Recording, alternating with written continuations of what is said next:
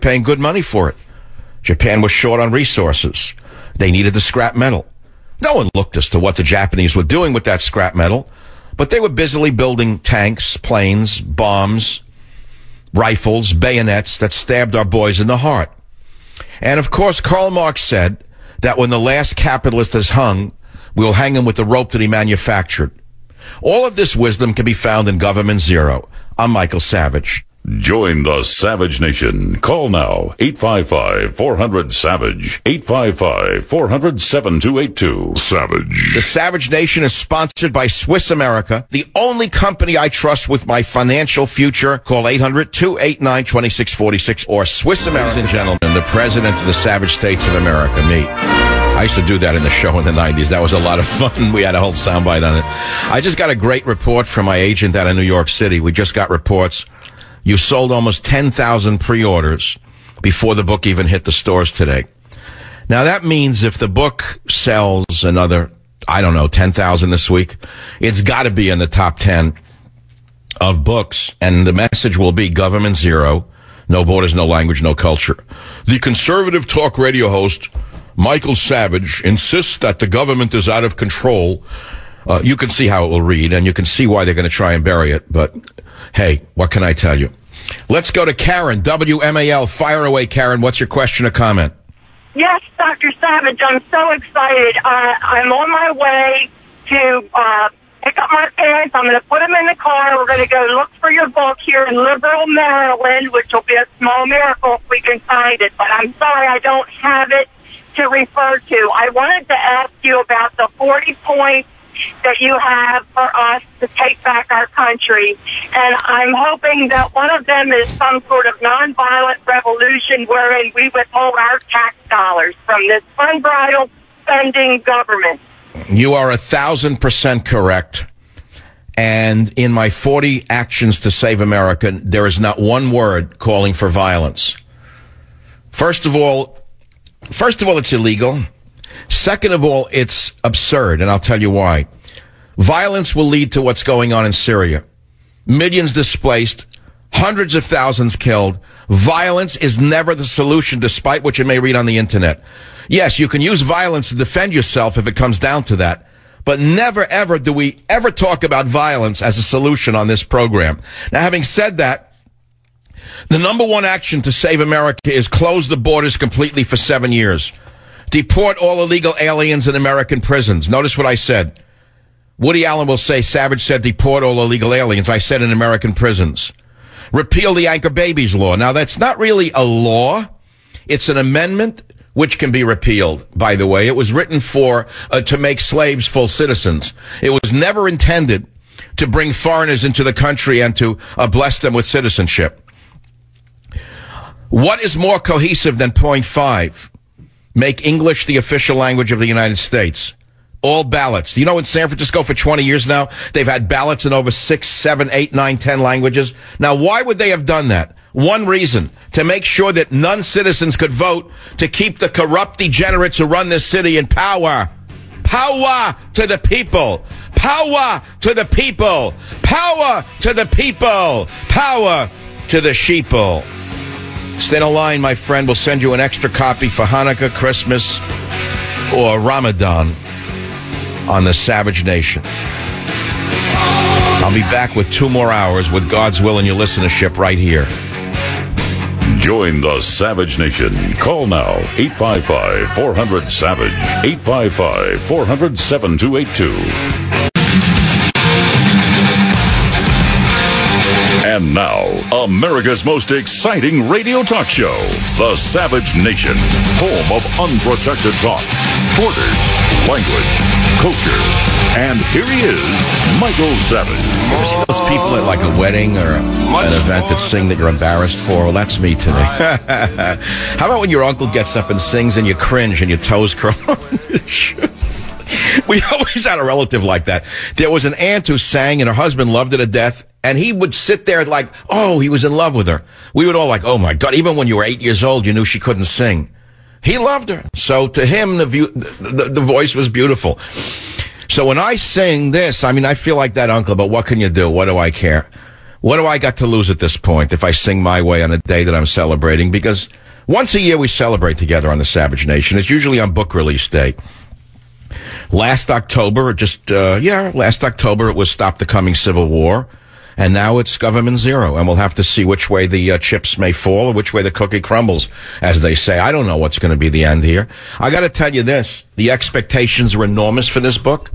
Uh, you know, I'll, I'll level with you. I don't think that there's any secret here. I don't know if I'm allowed to say this, but hey, last year the publisher printed about 50,000 copies of Stop the Coming Civil War. And you went to the bookstores and you swamped the bookstores and they could, you couldn't find the books. And they were caught short. They kept going back to press. They went up to three, four, five, six printings in two weeks. So this year they wanted to make sure there were enough books for my loyal listeners I think they printed like 150,000 first printing. That's an enormous number of books. And I don't know whether there's 150,000 people out there who care enough about America or want to arm themselves with the information and facts they need to argue to, to save the nation. I hope so. I hope so. But I, all I can do is, is say to you, thank you very much if you did go out to support my message and uh, share it if you can. Let's go to the callers. John, line 8, WMAL, Washington, D.C. Go ahead, please. Hey, Mike. Great show. Listen, Thank you. Law enforcement, and I love listening to you, man. You're great. And uh, I ordered your book about four weeks ago when I first heard you on the radio. And uh, I said, hey, I like this guy. And look, there's a war on police, and you, you've mentioned it several times, and it's happened ever since Obama made that statement about the professor up in, uh, I believe it was Boston. That's right. When he took the side of the of the anti-police professor, Obama has declared a war on police in order to lay the groundwork for creating a uh, federal police force and el- eliminate all community policing. You know that. Oh yeah, I know it from day one. Now, you know, Zero Police, Chapter 12 of uh, Government Zero. I'm going to read a paragraph. Uh, Obama's endgame, a federal police force. After yet another city lay in flames thanks to his divisive rhetoric and relentless war on local police, the grand illusionist in the White House had this to say, and I quote him. And I said, as usual, the Presidente glosses over the violent crimes committed by rioters and looters, calling them dysfunction, while making excuses for the inexcusable mayhem perpetrated by the thugs. But that's just more of what we've heard from the Marxist in chief since he took office. What he proposes to do about the crisis he helped create is even worse. Obama is working around the clock in the remaining months of his reign of terror to make certain he destroys the soldiers of our immune system, the police. And I'll let you come uh, back on in now, John. You know better than all of us that right now the thugs feel empowered. They know the police are intimidated as a result of this revolutionary in the White House. Am I correct? You're absolutely correct because why would they put their rear end on the line when they're not going to be backed by their police chief, by their citizens, by their paychecks. And this, well, look, I, I basically think that there should be a, a quiet boycott across America by police, and I think that that's what we're seeing. We've heard from the Chicago uh, whoever he may be saying, I think it was even the, the, the, mayor of Chicago, of all people, one of Obama's dearest lieutenants or friends said that the police have become fetal, F-E-T-A-L, in their unwillingness to put their lives in the line for fear of being sued by the thugs who are committing the crimes. Well, guess who caused this retraction of the police in America? It's none other than a divisive revolutionary in the White House and his minions. You know that. Mr. Savage, I'm sure you know this. Take a look at the Freddie Gray incident in Baltimore and look at the homicide and the non-fatal shooting increase for that incident because the police are going to handle their calls well, you've you've died out, and I'm going to send you a free copy of uh, Government Zero if you can uh, stay in the line. Yes, Baltimore has gone up in flames as a result of Obama's flaming rhetoric, Eric Holder's flaming re- uh, rhetoric, Al Sharpton, the street thugs' flaming rhetoric. Baltimore went up in flames, and instead of arresting the rioters, they arrested the police. It's a terrible story, but the corruption in Baltimore is not a new story. Baltimore is about the second most corrupt city in America, next to San Francisco. But there are deep familial links between the corruption in these cities that I don't need to uh, uh, point out right now. At the end of the day, we understand what the goal is. The goal is to federalize the police force and have all roads lead to the White House. WBAP, John, welcome to the Savage Nation. Go ahead. What's on your mind? What happened today? Hey, Michael, I can report that in uh, suburban uh, Dallas, your book in Costco was placed very nicely. I was there early this morning and had the top right corner and with very well placement. And God bless Costco. Everyone go in there and buy your books and buy some food at the same time. Buy some discount wine, cheese, food, books. well, that's nice to hear that they don't what they don't have the green-haired uh, people with rings in their nose in the in the book section. Is that why? It's pretty civilized in the uh, in Costco, and well, because Costco is not primarily a bookstore; it's a store. Now, you see, here's an interesting thing. I've been a writer my, my entire life since I'm a kid. And people who go into bookstores are usually frustrated writers.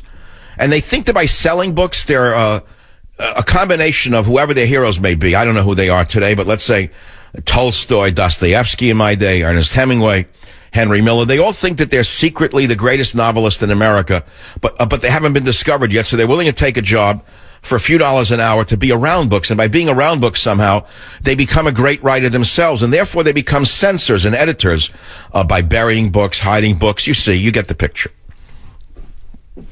Well, thank you, my friend. Thanks for that kind report out of Costco territory. I know many of you out there don't believe in the savage nation, but I say to you, if you step up right now and if you take the holy water and you take the wafer and you eat that wafer and you drink that water, you'll become an honorary member of the savage nation. And by doing so, you'll save this fair country.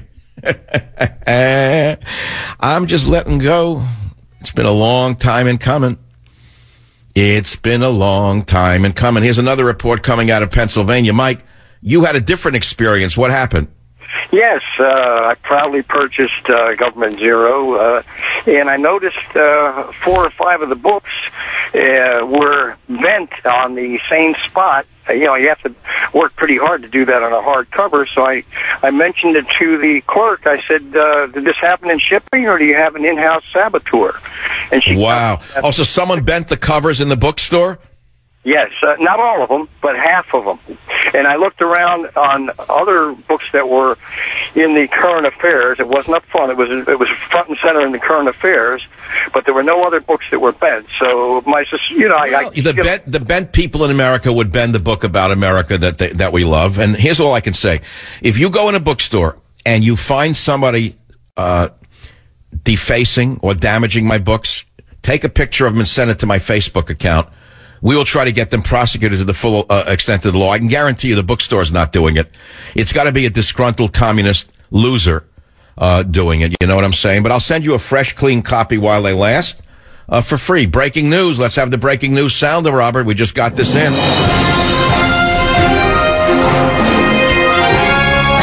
Yeah, yeah, yeah. All right, it's breaking news, but it'll go nowhere. Here we go. House Republicans introduced measure to impeach IRS Commissioner Koskinen. House Republicans, yeah, on Tuesday introduced a resolution to impeach IRS Commissioner John Koskinen, accusing him of making false statements under oath and failing to comply with a subpoena, blah, blah, blah, blah, blah, blah. Okay. The day anyone from the Obama administration goes to jail or even loses a pension is the day that, well, let us say I'll eat one of my own books but it will have to have ketchup on it. Otherwise, I won't be able to digest it. Ketchup goes with everything, by the way. You may say I have prosaic taste, but I got to tell you the truth. Ketchup is my favorite sauce. I had a, well, someone I work with, a lawyer in Washington, very nice guy. Uh, it ended on a bad note, but he was a nice guy. The overbilling, you know, about 30 grand overbilling. He told me his father, who lived to 98, I asked him, what's your father's secret? He said he put ketchup on everything. Well, I know from having a background in the field that ketchup is, uh, sure, it's got a lot of sugar in it. It's got a lot of this and that. But all the condensed tomato sauce in there is really quite healthful because of uh, the lycopene. Uh, inherent in that vegetable called the tomato. Yes, indeed. The tomato, little understood vegetable. That's why everyone loves Italian sauce. That's why everyone loves Italian cuisine. It's that old tomato sauce. And you can tell a restaurant by its tomato sauce, by the way. There's no question about it. Did you notice that? The great restaurants have the greatest. I mean, this is a given. It's a well-known fact. I don't know. I can't. I, I find better sauce in a jar than I do in San Francisco. And I'm not knocking anyone out here. There are places that still have a little bit on the sauce side that's, uh, you know, Italian-like. But I find that they spice it too much here to accommodate the tastes of the chefs who come from south of the border. Not knocking that cuisine, not knocking the, the, the cuisine, but it's not the same as Italian food. Italian food